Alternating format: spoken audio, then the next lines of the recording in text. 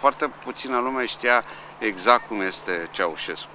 Eu pot să vă spun că Ceaușescu a fost un om, un om sensibil, un om emotiv, era un om foarte direct. Chiar pot să spun un naționalist care a, a ținut foarte mult la țară. Că pe parcursul cât a, cât a fost președinte, i s-a dezvoltat acest cult al personalității.